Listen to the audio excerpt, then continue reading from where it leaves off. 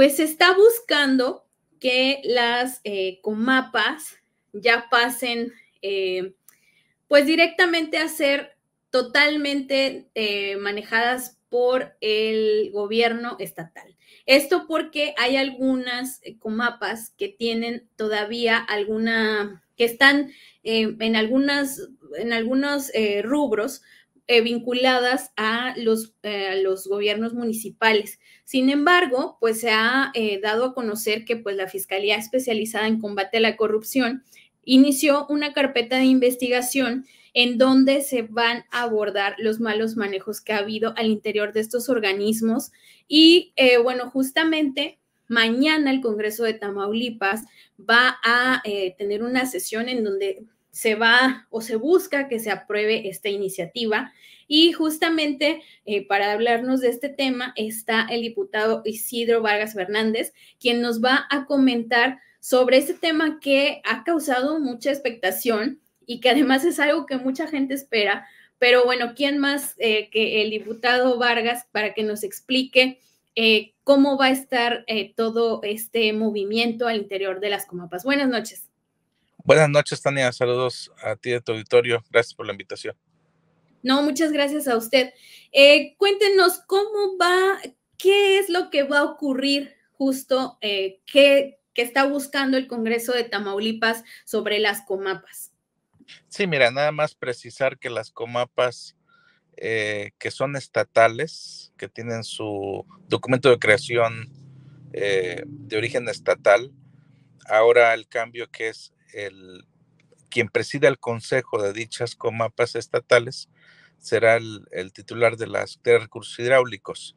Es, eh, es, nada más para ir precisando, eh, porque vi notas durante el transcurso de hoy que decían, no, que los alcaldes les van a quitar las comapas, que pasan todas las comapas al Estado. No, no es así, porque aquellas comapas municipales van a seguir siendo comapas municipales. El único cambio que tienen esos eh, organismos es que va a tener mayor representación popular o representación ciudadana, es decir, aquellos eh, diputados que ganaron en los distritos, en las cabeceras de los distritos, van a tener voz y voto en el consejo. Y los eh, aquellos consejeros que provengan de la sociedad civil, del sector privado o social, ellos van a ser elegidos por el propio Consejo de Administración. Es decir, se va a fortalecer los consejos de administración para que tengan eh, una coordinación con el Estado y la Federación, porque el tema del agua es delicado. Tania, tú sabes que hay una crisis mundial de la cuestión hídrica, que se requiere mayores inversiones en proyectos de agua y alcantarillado, que el Estado en los últimos meses ha rescatado incluso varias comapas, porque prácticamente en la corrida financiera, es, en sus informes que están presentando de manera trimestral, las comapas tienen eh, deudas eh, que vienen arrastrando de, de, meses pasados o años pasados, que tienen adeudos con la Comisión Federal, que tienen adeudos en cuestiones de litigios laborales, que tienen adeudos en materia de impuestos y de cuotas al seguro social. Entonces, lo que se busca es eh, fortalecer los organismos, que los consejos de administración tengan mayor representación, que tengan este, una mayor democracia al interior de esos órganos de gobierno y que se acelere la cuestión de implementación de los proyectos que tienen las comapas, porque sí los tienen, pero lo que hace falta son los recursos y para ello hay una suma de esfuerzos entre Estado, Federación y municipios para que se puedan acelerar dichos proyectos. O sea que con esto, con esta modificación, las comapas van a tener mayor, se podría decir que van a tener mayores recursos para su operatividad.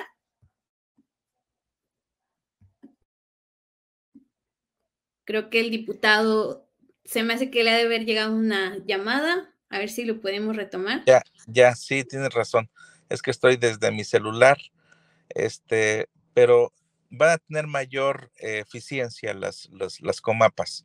Eh, en aquellos organismos, en comapas estatales, eh, va a estar muy de cerca la Secretaría de Recursos Hidráulicos estatal con los demás secretarios que es, van a tener una sana coordinación, creo yo, y van a acelerar los proyectos que tienen que ver con el agua y alcantarillado en aquellas comapas municipales eh, que tienen incluso acceso a recursos eh, provenientes del extranjero, de Banco Americano. Yo creo que se va a, sumar este, aquellos eh, recursos que tenga, por ejemplo, la Secretaría de Obras Públicas, la cuestión de la Secretaría de Energía, Desarrollo Energético, porque hay proyectos muy interesantes, por ejemplo, un proyecto de hidrógeno verde o aquellas cuestiones que tienen que ver con recursos del Banco Americano, eh, de la Secretaría de Medio Ambiente, de la Comisión de Medio Ambiente del, lado americano. Es decir, hay eh, fondos que se pueden eh, gestionar en las comapas, pero bajo una dirección o un consejo que sea que tenga mayor representación social y que esté muy bien coordinado con el Estado de Federación. Y bueno, aquí tenemos una pregunta del público. Dice, ¿el cambio de gerente en Reynosa será ya por parte del gobierno del estado? ¿Esto, esto va a ser así? Bueno, los gerentes, en el caso de comapas estatales, lo presidirá la Secretaría de Recursos Hidráulicos. En el caso de comapas municipales, con el caso de Reynosa, pues será elegido por, por la mayoría de votos de los consejeros.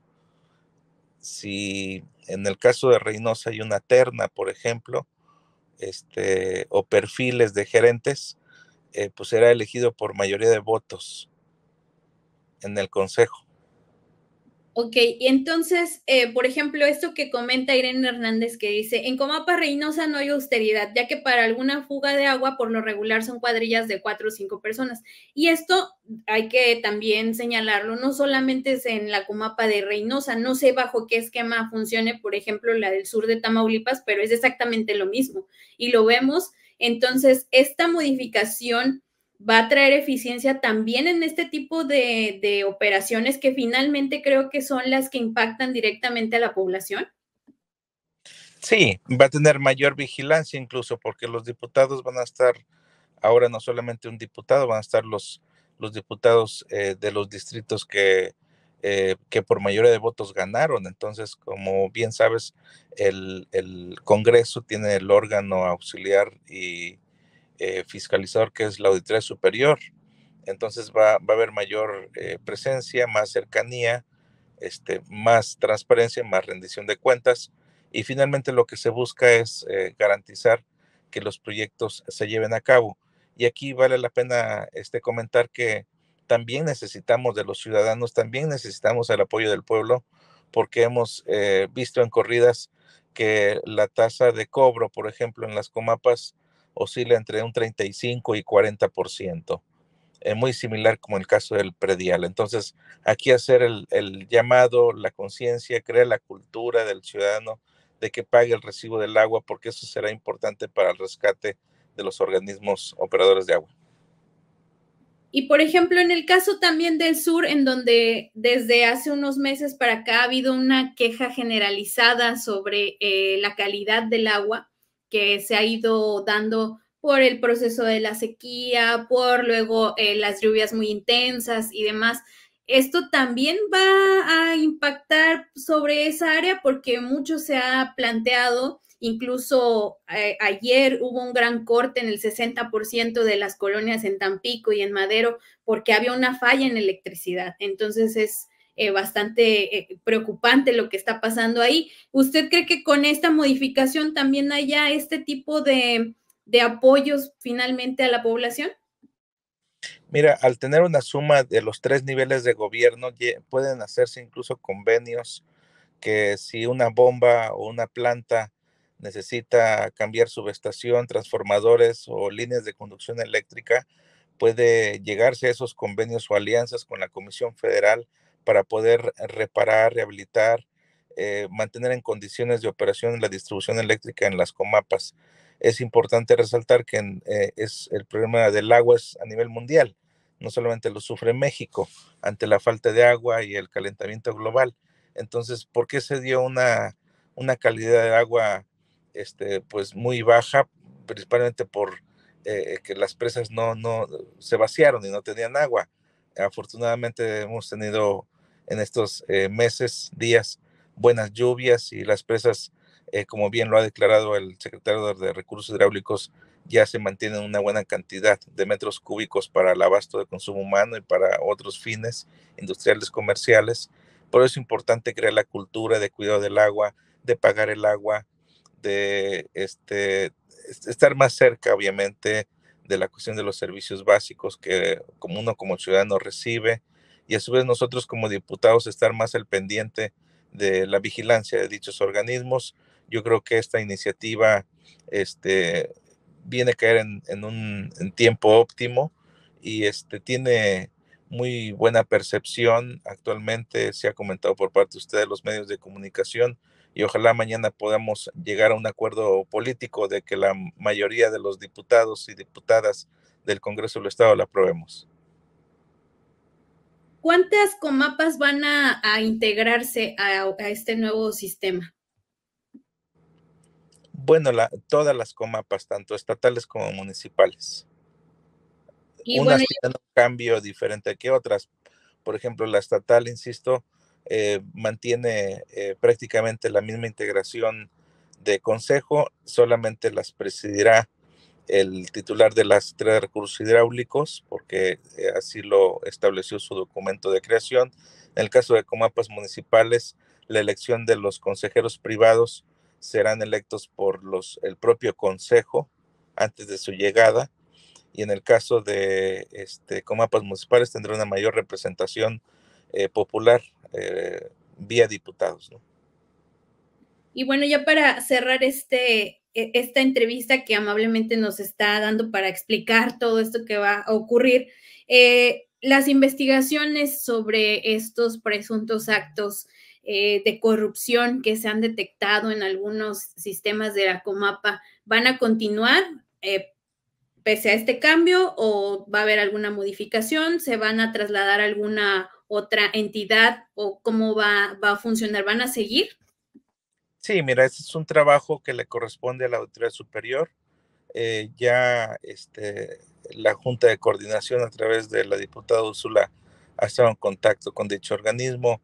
El diputado Humberto Prieto, que preside la permanente, está cerca de la auditoría. Entonces, eh, ellos en su momento eh, solicitarán la información y no solamente ir a una época actual. En el pasado, revisar lo del pasado, este, 2015, 16, 17, 18, esos años, este, a ver cómo funcionaron.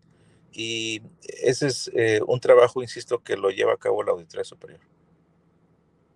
Y bueno, ya para finalizar, tenemos aquí una, una pregunta de Zaragoza Ibarra. Dice, preguntar si está concesionada el agua de las comapas en Tamaulipas. No, no está concesionada. Perfecto. Eh, dice Irene Hernández, solicita apoyo de la ciudadanía para que realicen pagos por consumo. ¿Qué hacen con empresas que tienen adeudos desde hace años? Bueno, en el caso de mi opinión, para deudos industriales comerciales es que las empresas este, paguen, se regularicen y que no existan condonaciones del servicio. Perfecto, creo que sí es una buena medida porque así como se hace el llamado no al consumo doméstico, también el consumo empresarial, industrial es, es buena fuente ahí. Muchísimas gracias, diputado. Vamos a estar muy al pendiente de la sesión de mañana. Es esta sesión, ¿verdad? Sí, mañana a la una. Perfecto, muchísimas gracias, gracias por explicarnos pues esto tan importante que va a ocurrir, pues eh, encaminado ¿no? al beneficio de la población eh, consumidora de agua en nuestro estado. Muchísimas gracias. Gracias, Tania. Saludos, buenas noches.